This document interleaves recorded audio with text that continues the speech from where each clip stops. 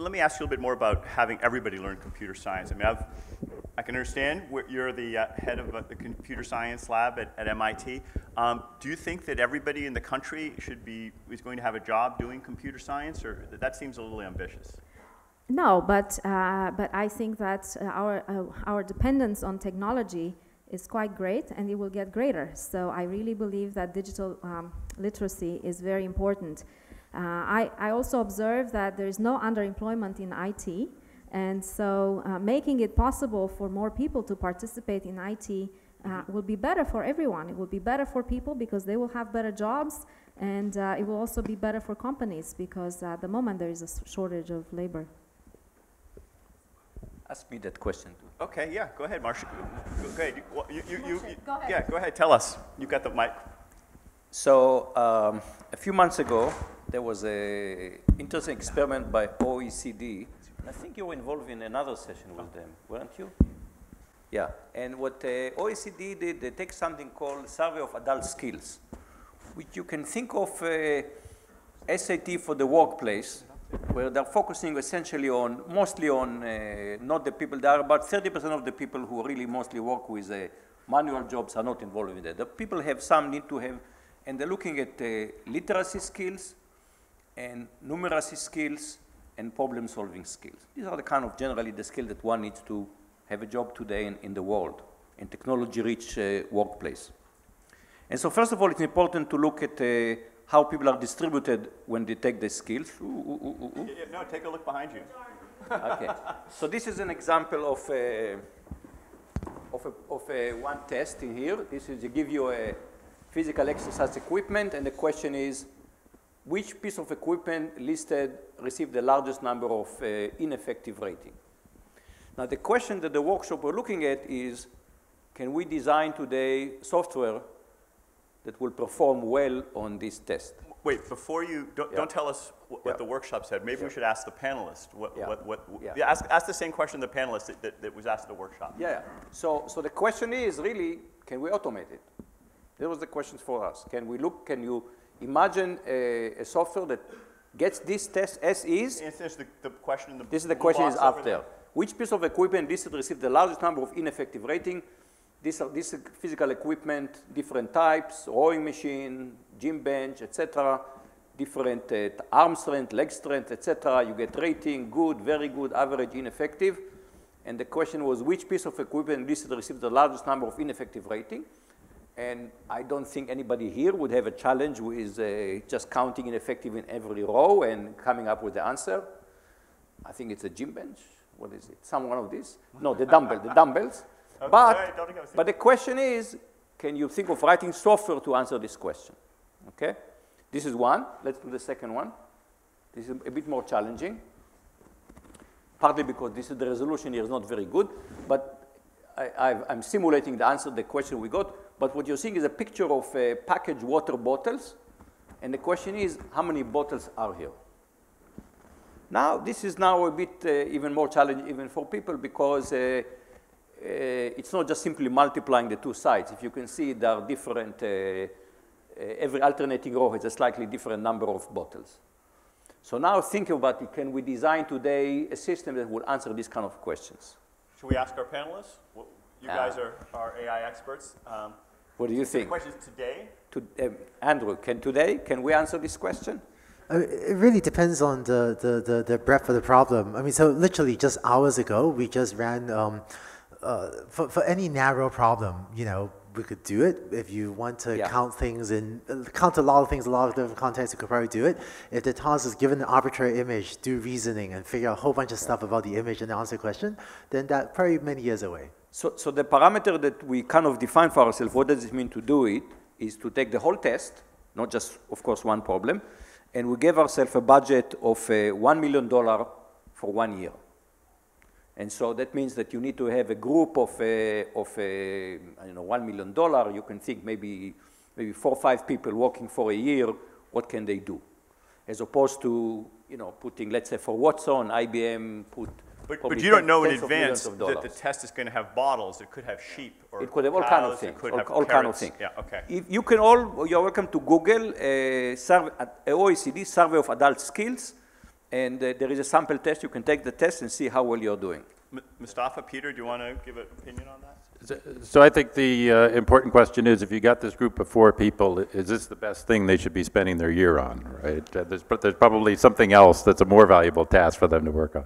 Well, think of it as a metaphor for of our ability to build agents that perform well in the workplace. Right? This is, of course, nobody's interested in just doing this. Yeah, This and is and just it's, I think, you know, for the next decade or so, we're not going to be ad- addressing these one-off tasks. We're Yeah, going to yeah, be yeah. solving bigger problems that uh, uh, are more specified but- and have bigger applications. But again, Well, the so- challenge is So, not to pass so, the test. so we're not going to pass the test because nobody's going to try Nobody's to going do it. it's not worth the money. Nobody's Yeah, going to spend no. a million dollars on it. But I think the reason that the OECD got these people together wasn't, of course, just to be able to pass the test. It was to get a benchmark for the, the ability of AI systems relative to humans. Would you say about 50% of humans Okay, so now the let me tell you about what, how people Okay. perform on it. So they, they classified by, let me just turn away from the lamp. Yeah, we can take it off now. So they, they look at five level of performance, one, two, three, four, Go five. ahead, have a seat. And uh, 50% of the people perf- performs at level one or two. 35% perform at level three, and 15% uh, perform at level four or five. Now, here is what, to me, what, what we ended up, and remember, this is just a bunch of people spending a day making educated guesses on what they can do in one year with $1 million. And the, our collective wisdom, and this is between one group that I was in, and I think you're in another group, altogether about 12 people, that with essentially today's technology, $1 million one one year, it means today's technology, you can reach median level performance, which Me- is a me- median, median. level, to about 50%. So to me, on this set of skills, the, the assumption is that today's technology can accomplish what 50% of the population can do in the workplace on this kind of skills. I'm, I'm not sure Peter and Andrew aga uh, agree with that, with your experts in the OECD, though, or? It I- seems I- re- you, you you gave us two data points, so it's No, no, no, I- to it's- it's- you extrapolate, can- you cannot. but- You have but to- you yeah, have to spend the time on. looking it at the seems whole- challenging. This really seems challenging. I, I, Uh, I gave you here, I would say, one of, the- of course, the most challenging problems. I mean, you cannot judge just on this. Some of the problems How about, how are very about easy. uh, M- Yeah. Mustafa or D- Daniela? I What, what are your mean- I mean, thoughts? I obviously, I obviously agree. I, I think that, you know, counting is a very, very hard Yeah. problem, uh, and I didn't quite figure out the first task, but that seemed like a non-trivial inference. That, I mean, this seems way beyond what we're currently capable Yeah, of yeah. So I, these are, I, you know, there is a whole Daniela, do you want to weigh in? I, I don't have anything to add. It's, um, I, I agree. So you, you were, on, you were No, in one of actually, I the- was you- not. You're I not, was not, I see. no. Okay, I saw your name somewhere. I thought you were involved in that. Yeah. Anyway, I said it's an educated guess, and a, a different group of people might come up with different estimate. You know, we spent two days looking. I mean, here we spent five minutes looking at two randomly selected problems that I was able to grab off the web. That the full test, one has to go through this and uh, and make a decision. Well, I think this is But an one- one, interesting. one but I- benchmark. but I, think the the Allen Institute for AI has been working on TOEFL problems and SAT problems, I yeah, think, yeah. which I believe are maybe simpler than this, but that's been taking years, Yeah, right? yeah, do- do- uh, go ahead. What, do- can You wanna say a few words, Oren? Oren? You, you wanted to say a little bit, you, you've been solving some of these uh, kinds of tests. Uh, I, so we've worked, we've been working on SAT problems and science problems, and it is very much as a benchmark. So I, I do, I do see analogously to what Moshe and, and this organization was saying. I think that there is a lot of value in it to, uh, as a benchmark for, for AI. So I guess to your point, is it worth spending a million dollars on it? Uh, Paul Allen seems to uh, uh, seems to think so, but I've I've bet my career on it, so uh, I guess I, I do I do too. But the reason being that it forces us to take some of these more challenging problems that, that Andrew mentioned, right, that are more structured, that involve less training data, uh, and figure out how to build systems that can tackle them. Can, can your systems answer these? Two? I, I beg your pardon? Um, not very well. So uh, we, we know that because we, we've had uh, you know, quite a bit more than that to work on the fourth grade um, fourth grade science problems, the Regents uh, New York science problems, and we've reached something like, so, you know, maybe over 50% over the entire test, which has diagrams, has problems analogous to the ones that, that Moshe did. By the way, you just showed the bottles, you didn't show the question, right? Understanding the question in the first place uh, is an extremely hard problem. So just to make sure I heard that, right now you can perform at about the median level of fourth graders on the science test?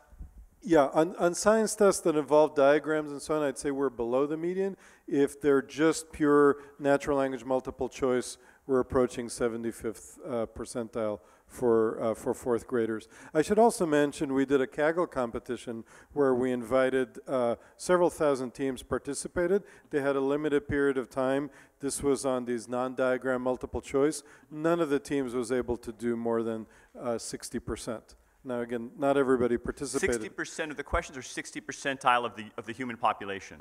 60% uh, uh, absolute score on an eighth grade uh, science test. and how do eighth graders do? Uh, gr- great question. I, I haven't calibrated exactly. It's it, because the, the problem is it's a subset of the test. So uh, eighth graders, median eighth graders do substantially better because they, they, they tackle problems with images and, and so on and so on. So, w- look, as I said, it's a, it's a estimate of, of two days, and one could argue, and a group of people will come up with different things.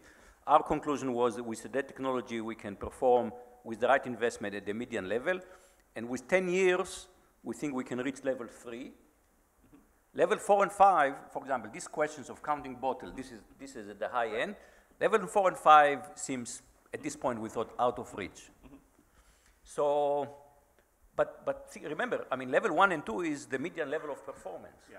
So, I level, mean, the- level three is, is the, where are we at level three? We're at the 85th percentile of the, of the working population. Yeah. So Mustafa, you've been working on a whole set of questions. You've had some, some huge successes in some areas, um, and you, you know, the cover stories in Nature and all, but, but I'm sure you've also had failures. Tell us about some of the things that you found especially hard to do, um, and what have you learned from what's easy to do versus hard to do? Um, like, uh, like Daniela put up the, the little uh, quote from uh, Mark Zuckerberg that there are a whole class of problems that are in some ways similar to each other that seem we're making a lot of progress on. Where have you been most disappointed or feel like we need to make more progress? Yeah, it's a good question. I mean, one of the areas that we haven't made a lot of progress on, which I think is very important, is this question of algorithmic transparency. So, um, for lots of reasons, it's really useful for us to be able to uh, understand where in the network a particular representation for a class label um, sits. Uh, knowing where that label sits or where, where in the network that representation sits allows us to bias training, for example, towards a specific outcome that we intend and therefore have more control over the algorithms that we train for specific purposes. Um, and it's also useful for, um, you know, sort of debugging and, and problem solving as, a, as an engineer. But more, uh, in some ways more importantly, I think people want to understand um, why a particular network is making an important classification or a, a judgment. Like what, what is the underlying uh, training data that has been used to produce a particular class output? Um, or uh, what is the kind of similarity comparison that is being made when, for example, an, an, an, um, you know, a credit score is being issued or a decision is being made. And, and so the more um, sort of complex and uh, critical a real-world application is, the, the more we need transparency of those algorithms. Give me so that's some, give me some a bottleneck. practical examples of, of some things that, that your systems are doing or, or where they're having more difficulty. That was a, a good sort of abstract description. What are some of the systems that, that you have working now or, or, or that are in process that maybe took longer? Well, um, one of the practical examples would be around radiology. So we've been working very hard um, in DeepMind Health on a bunch of different um, radiology areas. One is ophthalmology, and so there's clearly a lot of value in, in us being able to parallelize and standardize, um, you know, the, the human ophthalmologist. Um, What are they? They look at the, at the eye and diagnose? Yeah, look at so we- images, or what, what, how, what concretely are they doing? We basically take a three-dimensional eye scan um, and we try to uh, label the pathologies that have been, um, you know, identified by a human expert.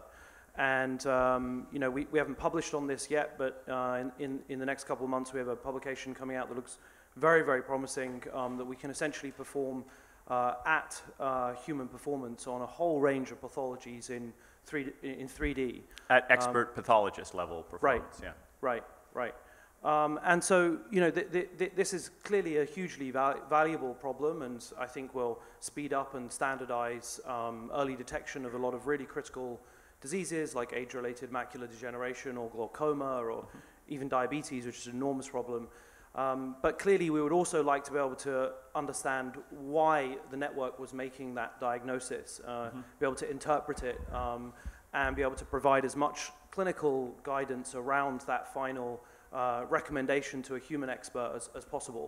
And so that, that means that we have to, to design slightly different networks that are able to reveal where in their representation. Right now, it can make a recommendation, but some percentage of the time it may be wrong. It's not perfect. And then the human is stuck with the situation of, well, the system says to do X, and do I, do I trust it?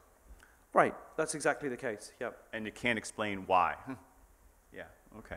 Actually, to, to, to give an example, I think uh, consumer loans is another one. Today, you know, actually, we use machines to make decisions on whether to approve or deny a, a loan application. Mm -hmm. And if you deny a loan application, you kind of owe the consumer an explanation for why. So we actually struggle with that mm -hmm. uh, when these decisions are driven by neural network.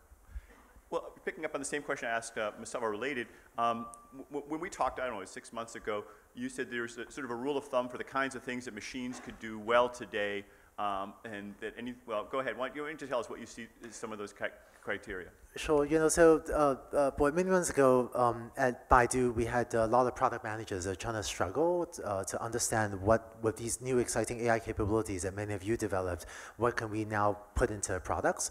Uh, what can we use for consumers? So I gave them this, frankly, over, vastly oversimplified rule of thumb, which is um, anything that the typical human can do with less than one second of thought, uh, we can either now or in the near future probably automate with AI, such as look at a picture and tell me if there's a face in this picture, or look at an email, tell me if it's spam, or um, uh, you know, so examples Counting those like bottles that. took a little more than one second, I guess. Huh? yeah, yeah. And, and, and so what happens is a lot of complex AI components are made up with a lot of these simple components, which only take a second of thought. So for example, uh, the way that we do um, a, a conversation-powered computer, right? So you talk to computer and say, please order takeout delivery for me or something. Uh, there's an AI component that does the speech recognition, which you could do in less than a second. And then there's an AI component that figures out this is a food delivery query. There's another component. So a lot of these components, each of which a human can do with less than one second of thought, and we string them together in a clever way with a complicated way for how to collect data and so on, and this turns into a very valuable product. Now, this one second rule is clearly imperfect, you know, uh, uh, it makes both type 1 and type 2 errors, but we found it a useful heuristic. So we do have many product managers, you know, running around looking for things that they can do in less than one second of thought and trying to automate that. That's actually productive. This sounds like a, it could be a very useful. What do the other panelists think? Daniel, you put up a chart of a whole bunch of things from McKinsey that you thought were autom- that they thought were automatable or not. I, I, gathered you sort of roughly agreed with it when you when you were talking about it. Right. So uh, I guess the criteria were um, uh, repetition and predictability. Mm-hmm. And um, with robots today, predictability, um, a predictable environment is absolutely critical. Uh, a slow moving environment is absolutely clear, uh, critical. Um, that is why you can do self driving in simple environments where you don't have too many things buzzing around and uh, you, you have fairly slow moving vehicles that can keep up with the perception and control systems of today. So with robots, this kind of predictability is critical. And with data crunching, mm -hmm. the patterns are really um, uh, what, what the system is all about. Oh, actually, that, that you mentioned about self-driving, like, um, the car, you, you have this project going on in Singapore. So is it a controlled environment? Tell us a little bit about how, that, how you made that work. So yeah, so we've been working on self-driving vehicles in Singapore since 2010, primarily because Sing Singapore opened um, the roadways and their data sources to us at a time when that was not possible elsewhere. And uh, we have uh, golf carts, the ones you have seen. We also have um, uh, some uh, electric vehicles and these scooters and wheelchairs. And uh, they are part of the ecosystem uh, of the National University of Singapore. So in fact, they move on all the roads at the National there's, University. Pedestrians there's pedestrians, and in fact, these uh, these vehicles have these big red uh, signs that say "Danger, robots." But the, the, the students have have seen them before. Have been. How, how have, fast do they go? Well, they go up. Uh, they go up to. Um, uh, let me make the conversion. So it's. Uh, uh, 20 can do kilometers. 25 kilometers an hour, so about 20, 25, uh, so they can go up to 35 kilometers an hour. Okay. And um, we run them between 15 and 35 kilometers an hour. And the students just know that these are vehicles that are part of their eco, uh, ecosystem. How Uh, many fatalities so far? They're moving slowly, so the critical point is that in moving slowly, you can actually process the, the visual feed and the laser scan feed, and you can see that there is an obstacle in front of you, and you can compute an alternative path. Are you saying the computers aren't fast enough yet? Well, I am saying that our ability to do perception uh, is not, uh, is not uh, reliable nor fast enough. Would a few more ticks of Moore law, Moore's law just automatically solve that problem? And I think we need uh, advances in the algorithms. Yeah, honestly, I, yeah, honestly, I feel like if, with perspective on self-driving cars, and this is our rollout strategy in China, which is, um, you know, I don't think the way to build self-driving cars is to try to make it drive exactly the way a human does. Um, if you run across a construction worker, a construction worker does that, you should stop. They do that, you need to go. This is a critical decision you better get right. I don't know anyone that has a computer vision team that can reliably distinguish this hand gesture and this hand gesture at the, you know, having uh, uh, sufficient accuracy needed to make this critical decision. So I think Daniela said something very insightful, which is people around the car got used to it. So I think the, the roadmap for self-driving cars is not to try harder to make a car do everything a human does, is to change the regulations and change the expectations of the people outside the car so we can fit this into, um, uh, give the car context and can So- drive it but we do have someone so working, Another, yeah, go another ahead with it. perspective uh, is uh, part of our project with Toyota, where the objective is to make a parallel autonomy car, uh, uh, car not a, uh series autonomy car. So in other words, um, the perception system and control system of your car watches what you, the human driver, does and uh, takes Parallel with the human versus Parallel zero. with the human and takes over uh, in case the human is about to make a mistake. So the, um, uh, the computer becomes a kind of guardian angel uh, that prevents the human from making a mistake. I heard Google wasn't so thrilled with that approach. Is that right? I guess we, we want to be uh, sure. Uh, So uh, I think uh, there- there's sort of this uh, uncanny valley uh, type problem that if you uh, have an assistant that does a little bit of work for you, that's great, it's very useful. And if you have autonomy that does 100% of the work for you, that's also great. But if it does 90 to 99%, you're in a lot of trouble because we just couldn't get people to pay attention. We told them you had to be ready to take over, but once it passes a certain threshold of reliability, they don't. Uh, They're not, they're not willing to take over. We got Gil? Yeah, Gil, Gil wants to, um, So Peter, this is different than. So, so to clarify uh, the answer, both from uh, Way- So this Waymo's is Gil point Pratt, of just to identify your. Oh, uh, sorry, uh, Gil Pratt from uh, Toyota Research Institute. Um, There's actually two different things you guys are talking about. Uh, The Guardian Angel is a parallel system that only intervenes when the person is about to have a blunder. And I think there's a whole lot of neat things that AI can do as, in many fields, actually, as a guard against human error. And it would be neat to chat about those sorts of things. Uh, The idea of a handoff back and forth where the person has to watch over the system and the person guards the AI and has to make sure that that doesn't make a mistake. I think that's the thing that uh, uh, Peter was uh, mentioning there. So So there are this two is sort of the mirror different image of that in a way. Correct.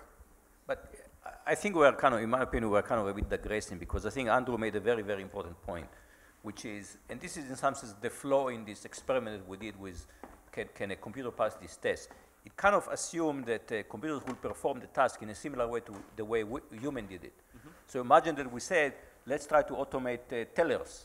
So it says, okay, they have to have a conversation with the customers, so they need the, they need the speech recognition, speech synthesis, machine vision, and a whole bunch of skills. And the, ans- the answer is, of course, ignoring the issue of whether we have more tellers, more, more tellers or less tellers, we re-engineer the process to make it amenable to, to machines.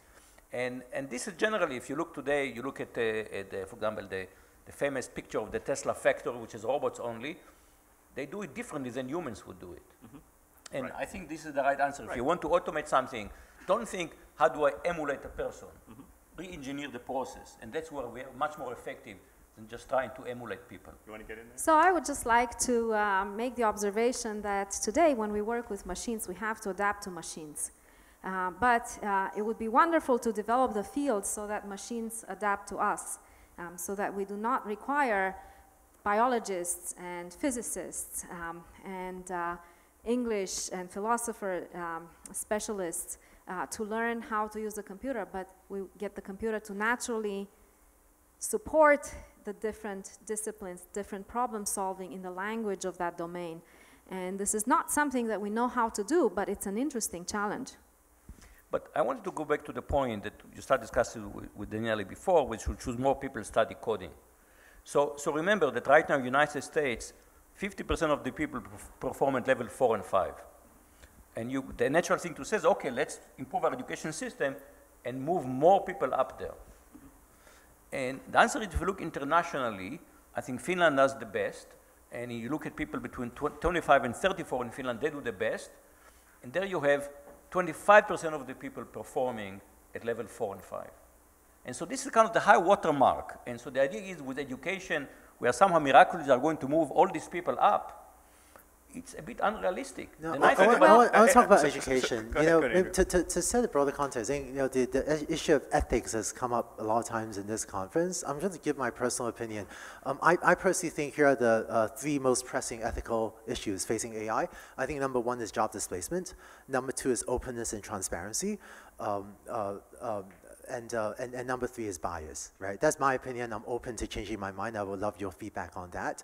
Um, but just to add just number one for now, you know, it turns out that um, in the workflow of machine learning, we're actually very good at, we're relatively good at automating things that people can do. There are a lot of reasons for that. If it's a task that human can do, uh, like ophthalmology, we can get labels from the humans. Uh, and then there are various reasons why, uh, oh, and, and compositionality. You know, the brain is compositional, neural networks are compositional. Yoshua was talking about this, Yann's talked about this.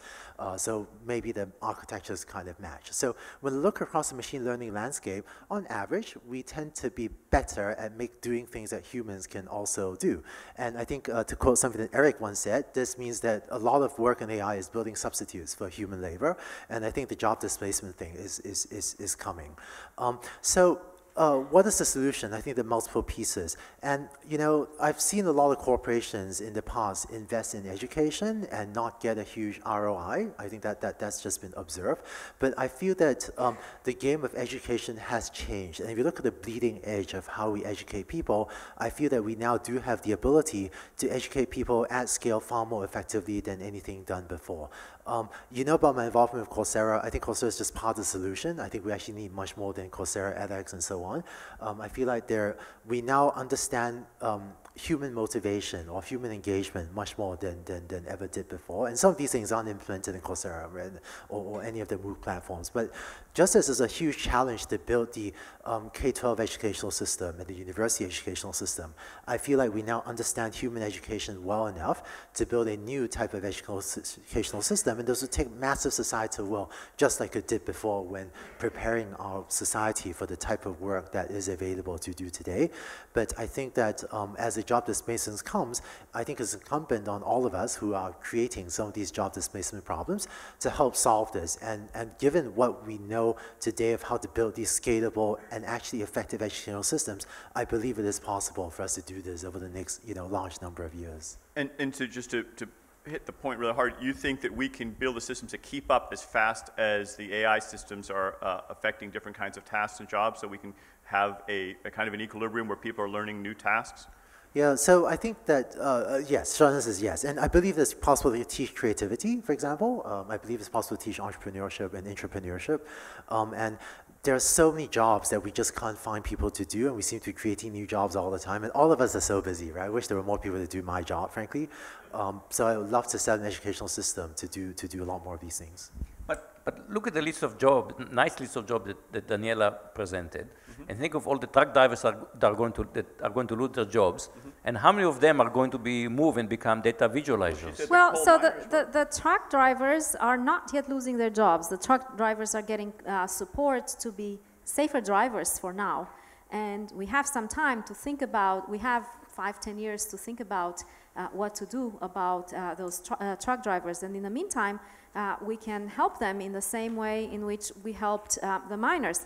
I also wanted to share that. Actually, uh, let me just ask you about The that. miners are so happy that look how they Oh, oh, voted. So, so, so let's just, let's just get a, a quick check on the, uh, on the driver. So you've been, you've been working a lot, a number of you have been working on, on self-driving cars. There was a recent prediction that 20% of the vehicles in China will be highly autonomous by 2025 and 10% will be self-driving by 2030, according to a group of experts commissioned in China. Uh, do you agree with that uh, estimate? So I find it hard to make predictions. I like uh, saying what I would like the world to be, and uh, I can. Uh, I mean, if you think about the fact that uh, five, six years ago, nobody was talking about self-driving cars, and look at the frenzy that we have today and all the advances, I can really see um, our progress picking up pace and uh, getting to the point where uh, in some short amount of time we could provide increasingly more autonomy. So you, you're talking, you're quoting 10 years to 15 years. Yes. And it's, uh, You it's find that really plausible, possible but you're not that sure? uh, the technology could get there. Anybody agree or disagree with that? No? It feels very challenging but plausible. Plausible but challenging. Okay. But we should separate the, the technical issues where 15 years seems plausible, but imagining the, the, the transition of, uh, from one system to a whole other social system, I don't think any of us Well, is, let's is pick good up on that a little at- bit. I mean. Andrew mentioned it was the number one uh, issue as he saw it. Uh, uh, uh, Mustafa, what, we had a little conversation. What, you, what are some of your thoughts about the responsibility that people have to consider that as they're developing the technology or not? Consider the, the effect on the people's livelihoods. I, th- I think um, one of the problems with the way the question is framed is that it, it every question like this needs to be uh, bounded by you know some some time constraint. So what's going to happen over 10 to 15 years, 20 to 30, and then beyond? I think beyond 30 or 40, it, it's it seems at least intuitively to me quite likely that there will be very significant displacement, and so um, you know, and, and I actually. I think we'll struggle to adapt and retrain and upskill, reskill uh, people at the scale that we're displacing them. I mean, clearly the level of certainty or confidence in that uh, assertion is very, very low because who knows? But I, I think it's significant enough that you know that that warrants really rethinking a lot of quite fundamental things. Like, for example, our our approach to taxation and redistribution. Um, you know, the extent to which we have people involved in some of these But you're talking 30 years plus. plus. Yeah. I- So- I I think- don't think so- that's so a I- near-term I saw Daniela Percott. Near, term, so, near so. term, I'm quite happy with Daniela's like 10-year hyper optimism around augmentation and working with machines. That's great. I mean, I think that's quite likely, but over a 30 to 40 year period, I, th- I think that's a bit ungrounded, to be honest. So, so Mustafa, let's uh, assume that we introduce mandatory computer science training. Our high school graduates in 10, 12 years uh, will have all the tools to participate in the IT uh, industry. And this is totally possible. Uh, in fact, I can quote the example of one charter school in Boston where 90% of the students um, are Afro American and Hispanic and the school has the highest performance in all the standardized tests. It's also the only school that has consistent computer science education starting with grade one. Um, and, and it's amazing. I think if you challenge kids, if you give kids uh, interesting and exciting problems, they will rise to the expectation and will learn the material. Of course, the jobs will be very different, but they will have the kind of tools to participate in an IT economy. I, I feel like um, until humanity runs out of wants, there will be new job opportunities. The main challenge is whether or not people have the skills to pursue those opportunities. We can look at how we have performed over the past 25 years. We can look at uh, manufacturing as a test case, and uh, we can ask, uh, you know, the, the standard thing is there will be new jobs, and we can look at these uh, 8 million people or so that lost their job, and uh, where are they going? In fact, there was just an article, uh, I think just yesterday or the day before that, about where the new jobs are. And the answer is the new jobs are many of them in services and uh, health aids, and women take these jobs.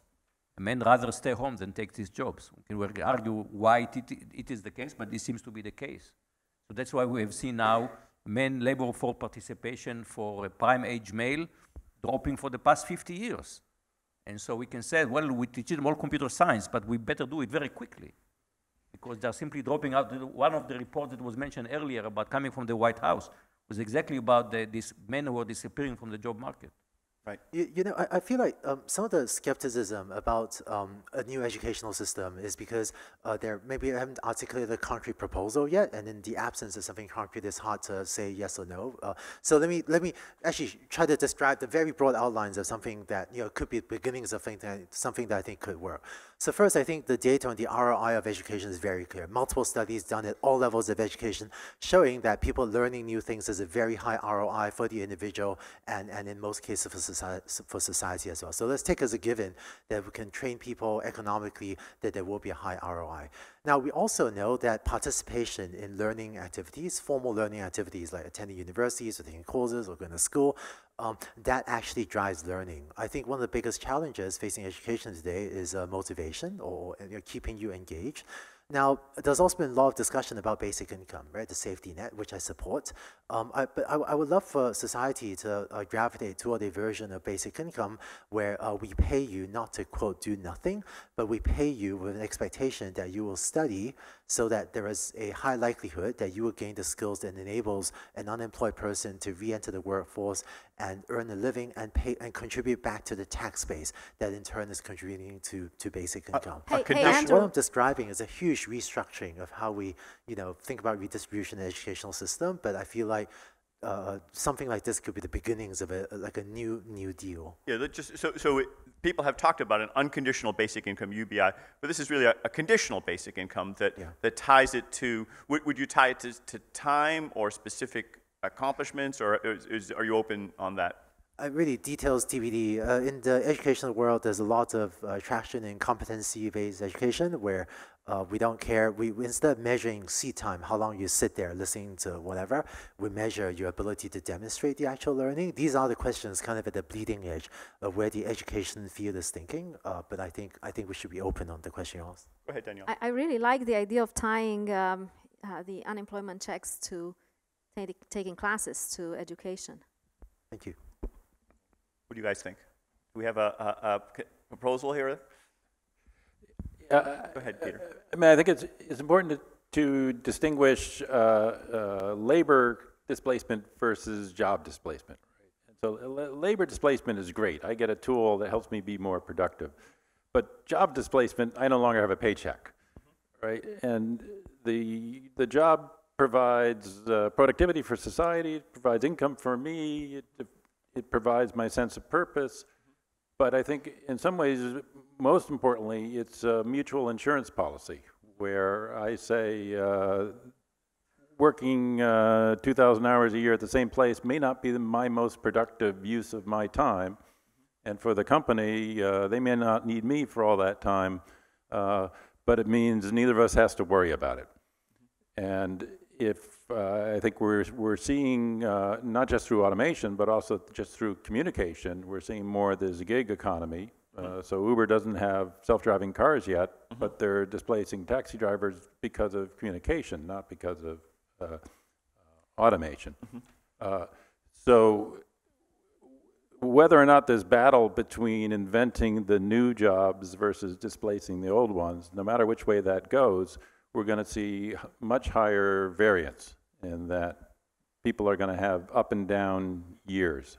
And so we need some insurance policy to replace that. And I don't know if uh, universal basic income is it, uh, or uh, uh, income tax credits, or uh, guilds, or, Would but you there like has to to be. some work on under, uh, on something? There has to be some insurance policy to make up for this uh, no longer stay at one job for multiple years to decades at a time. Because because that's inevitable no matter how much uh, automation happens. Let's So open up can- to. can to- I- can I make a comment second, on Let that? me just say, it- it- I- I'd be be happy to take some questions from the audience. I think there's a couple of them here. Maybe get some mics over here. Maybe, uh, is that Erik? So Josh Greene, Harvard. I'm try, trying to adjudicate in my mind between the optimists like Daniela and the, and, and the pessimists.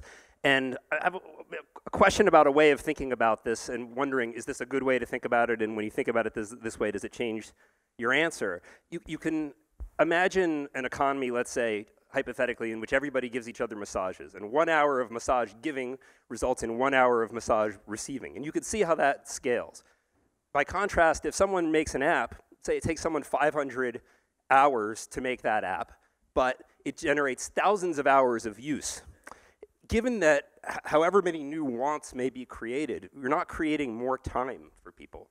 Uh, if you think about the tech jobs of the future in terms of the ratio of the amount of time spent on labor and the amount of hours of service provided per hour of labor, if it turns out that there's a lot more hours of service provided by the most desirable products than the amount of labor time that goes into them, does that inevitably lead you to the conclusion that no, there's just no way you can keep everybody busy making apps or whatever the, the, the sort of the, the, the, the, the, the, new technological employment world looks like. So I'm wondering, does this way of thinking about it make sense?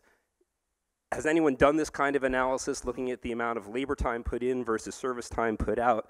And if you do look at it that way, where do you come down on the question of whether we could have a sustainable economy of knowledge workers? So you say I- that like it's a like it's a bad thing. I mean that, that we have more wealth with less work. The question is, is, is, is could, could, it would be good for the people who are making the apps that everybody loves and spends thousands of hours on. What happens to the people who put in 500 hours on an app? And so this is getting to the issue of recla- of Yeah, so- replicability and scalability that you, Erik, discussed in your Yeah. in your talk. So I'm just looking for general So- reactions to that. Go- yeah, let's So I. I, I think that uh, uh, once upon a time, um, I think we used to wonder if everyone needed to be literate, and then eventually we thought, well, maybe only a few people need to do the writing, and everyone else just needs to read. Because surely, with a few best-selling authors, everyone just read what they write. Everyone else doesn't need to learn to write. But what we found is that now that you know most people are literate, you know, we now write for audiences of one. Like I send my wife an email, my wife sends me an email, and that creates value. Right now, CS talent, computer science talent, is so scarce that almost all the CS talent is dedicated toward the applications that um, attract the attention of mass audiences. I can't prove, but I believe that if CS literacy becomes widespread, which Daniela is pushing for, and I think is a fantastic thing, we'll be able to have a mom and pop store where you know the, the, the husband and wife decide to write code for a specialized display for their uh, little grocery store, and they can program something just for their store. You send your wife an app, she sends you back an app. You, you send your wife an app, she will send you back an app. yeah. Mustafa, you thought a little bit about whether we need new I mean, I th- governance I- th- models for this. I, th- I think the po- I think the, the point is not that you know we want widespread literacy. Of, of course, everyone would argue for universal access to education. The the question is, is there going to be enough uh, you know dollars attached to that that we can actually fund very very large populations to write or to build apps? And I I think that's the point of the question: is that there's there's sufficient uncertainty around that answer that we should you know, for the sake of building an insurance policy, we should be skeptical about it, and therefore, and that's just an approach. It's not pessimist versus optimist. It's just we do need to think about insurance policies, especially as we see, you know, this colossal rise of the populists who, you know, rightly or wrongly, whether it's connected to the substance or whether it's just a feeling that they're being, you know, hard done by, are very frustrated and are increasingly pissed off and are going to be directing, you know, more and more of their kind of frustrated energy at, you know, elites like us who wield incredible, you know, authority and, and, and power. And I think that's something that we have to take on very seriously and consider with respect to policies like more progressive taxation or more transparent governance. We're just about out of time. Peter, weigh in, and I'll have a quick question for all of you at the And end. I, I think there's some things for which we just prefer to interact with people. And, you know, maybe your massage is one of that. There could be a robot massager that's just as good, but you'd rather get it from a person. And, uh, you know, you'd rather get your uh, likes to your posts from a real person, even though I could write an app to, uh, to generate 10 million likes. Uh, You're not going to be satisfied with that. Right, we watch sports with real humans, and even if a machine could do it faster. So we, we have to wrap up, I, I'm afraid, but let me just ask you all a, a closing question. So imagine that you, uh, you find yourself in New York City last, next uh, week, and you're riding up this gold-plated elevator, and in steps the, uh, the president-elect, and to your surprise, he's read the, uh, the White House report that just came out about AI and the importance of it, and he says, you know, you seem to know something about this. Um, you have one minute as you go up to the 60th floor. Um, What's, what's, what's your one piece of advice, or what, how are you going to use that, that, that 60 seconds of, of, of policy advice? Um, who, you want to go first, Mustafa? Um, ma- massive investment in computer science uh, education, and secondly, um, thinking uh, about algorithmic transparency and uh, you know understanding how we can build and deploy machine learning systems and use them in high stakes real world environments and get around the regulatory framework to do that. Andrew? Sure. I, I, I'm going to say what I said just now again, just to emphasize. I think number one ethical problem, jobs. I think we need education, maybe taxation, basic income, so on to solve that, but jobs. Um, number two, openness and transparency. And I think number three, bias. I really think those are the top three ethical problems facing AI today. So- So I think jobs in the uh, social security net that goes around, goes with it, either for long-term or, uh, or short-term, because if you don't keep people happy, uh, they'll vote you out like you did to the last guy. Am I alone with him? What's that? Yes, Am you're I- am I alone. You- you- yeah, it's- it's I'm not, I'm not Just- sure just a advice, few advice hundred will be my top, pri- advice will be my top priority. But I would, I would emphasize, rather than try to run into solution, I would emphasize, because I don't think, so far he's internalized it, it's not about trade, it's about automation. Okay, great. Daniela, you have the closing word. Mr. President, American kids are falling behind. We need mandatory computer science education for all.